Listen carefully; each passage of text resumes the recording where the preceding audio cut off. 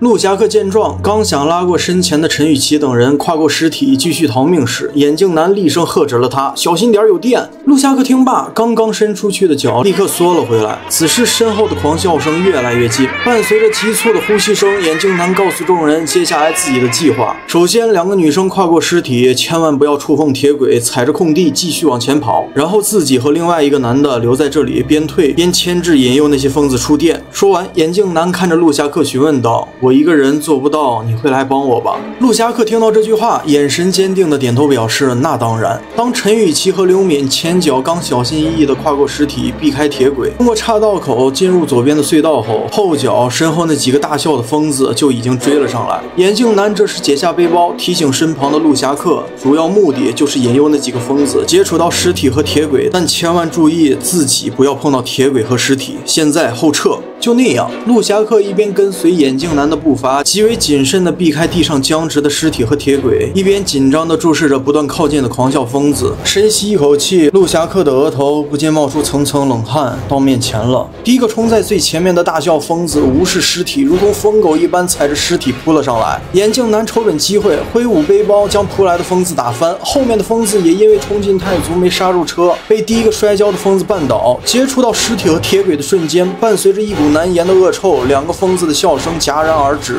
只剩下了两具僵直的尸体。陆侠客见状，胆子也不由得大了几分。可就在他伸腿要踹扑来的另外一个感染者时，旁边看到这一幕的眼镜男大声喝止，他让陆侠客动作不要那么危险，用吉他砸他们就行，边打边退。陆侠客听闻却摇着头为难道：“这把琴可是限量款阿尔达米拉 M 三千，M 三千啊！为了这把琴，自己从来都不坐飞机，不托运，M 三千怎么能？”然而陆侠客的。话还没说完，又一个感染者扑了上来。陆侠哥下意识的伸脚踹开，而当他落脚的时候，差点踩到一边的铁轨上。眼镜男用背包又一次打翻一个感染者后，气得几乎骂了出来：“如果感觉吉他比命重要，那就继续保护你的吉他吧，弱智！”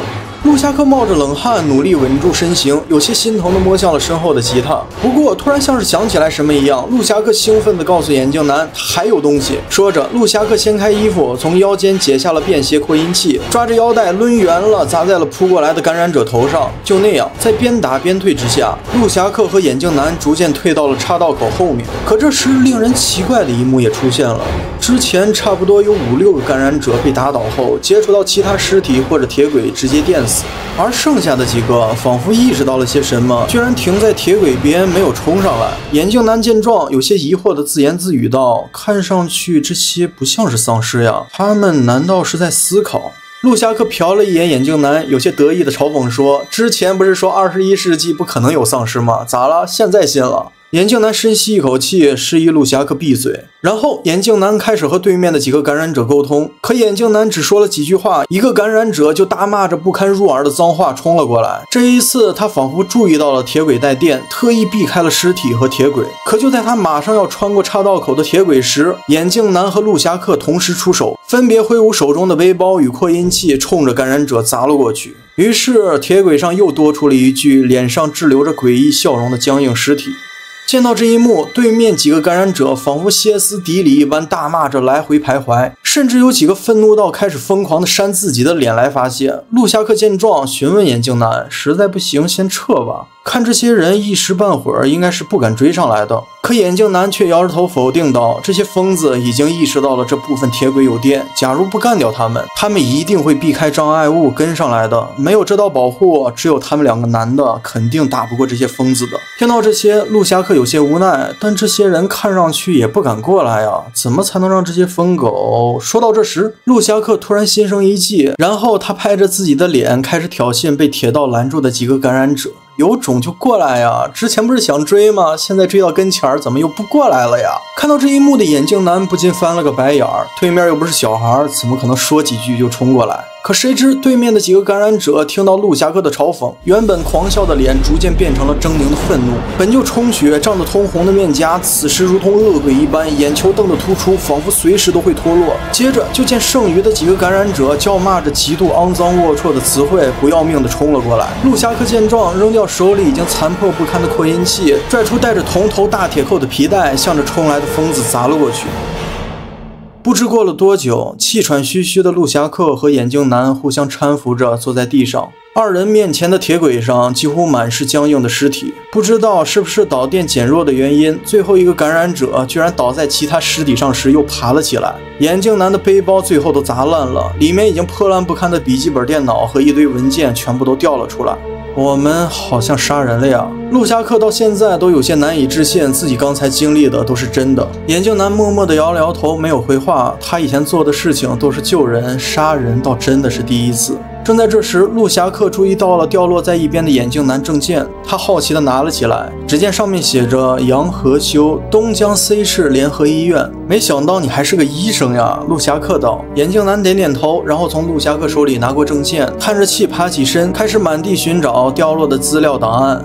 医生的力气都这么大的吗？陆侠客继续问道。杨和修检查了一下背包，确认了真的不能再用后，丢到一边回答说：“他是骨科医生，每周都会去健身房锻炼几次。”正在说话间，隧道里传来了一阵脚步声，陆侠客和杨和修顿时紧张起来。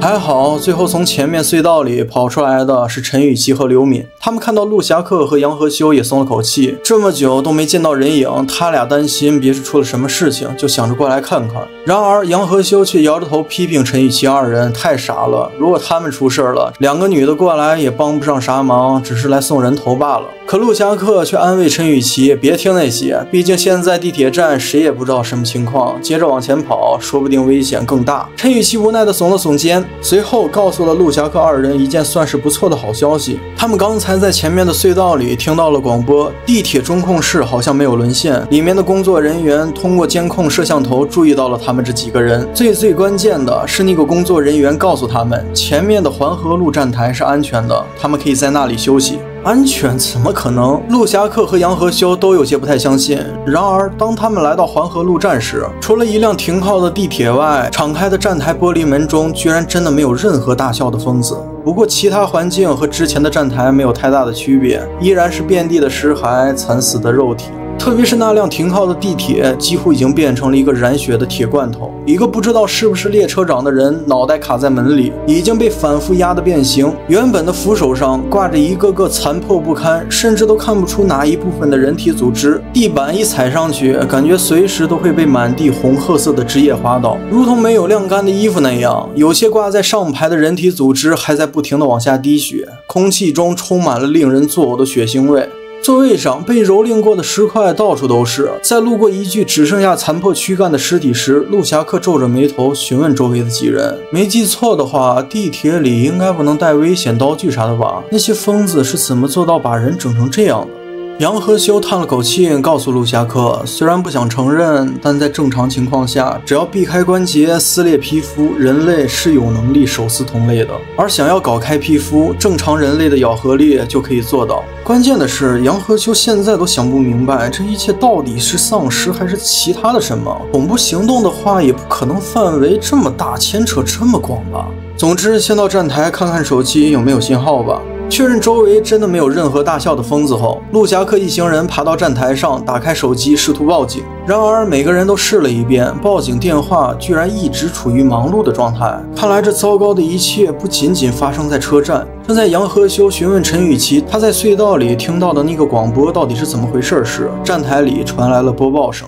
喂，听得到吗？听得到的话，冲着你们左边斜上角那个摄像头点点头。陈雨琪等人听罢，立刻寻找摄像头，然后点头回复。好了，能听到就行。如果想和我沟通的话，你们进入站台左侧那个电梯里面，但最好不要上去，因为我不确定上层的厕所里有没有那些疯子。我这边的监控只能看到站台、隧道和上边乘车大厅的大部分画面。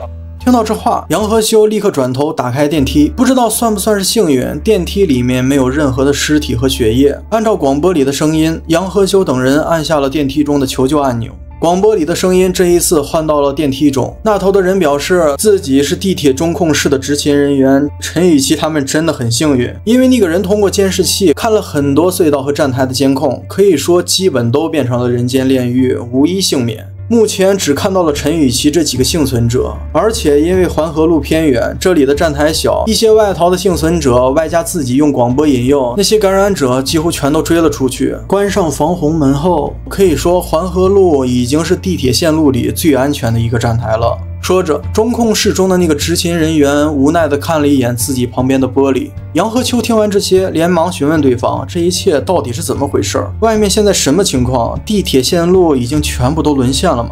地铁线路啊，何止是地铁线路啊！我这边监控看了一些外面的情况，只能说我能看到的所有地方都是这个屌样子。你们如果能自己拿手机上网看一下，说不定就能明白了。对了，这个站台并不是一直安全的，因为地铁线路里出现了不止一次追尾车祸，所有的线路几乎已经全部停止了运作，而隧道里可以说全部都是那些，全部都是那些杀人为乐的疯子。他们有些在隧道里没有方向的乱跑，说不定过一阵子就会有人到达环河路站。总之，小心点吧。杨和修这时询问值班人员：“那怎么办？报警电话根本打不通，等在这里和接下来在隧道里走都是找死。那接下来该怎么办呀？”